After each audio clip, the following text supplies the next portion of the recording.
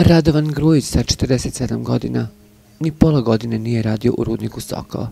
Zaposlio se u novembru i tek što je osjetio rudarski hleb, nastradao je u jami na 500 metara ispod zemlje.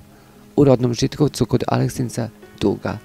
U porodičnom domu Grujića smenjuju se komšije, teše majku Desanku, a ona neutešna. Sine, trebalo je majka svadbu da ti sprema, a ti me ostavi, Prolamala se kućom i dvorištem u petak. Čekala je, kaže sina da se vrati iz noćne smene, a dočekala samo crne vesti. Kaže, nije bilo sve jedno od prvog dana kad se zaposlio. Nije bila srećna što je odlučio da bude rudar. Zaposlio se u novembru i nije se žalio na posao. Po struci je bio zidar, ali mu taj posao dojadio zbog nesigurnosti i što je često mora da bude daleko od kuće. Bio je rešen da se skrasi i da se konačno i oženi kaže majka Desanka. U crno zavijen i brat Vojkan. Pokušao da se pribere posle saznanja da više nema brata. Čuli smo na vestima da je bila nesreća u rudniku.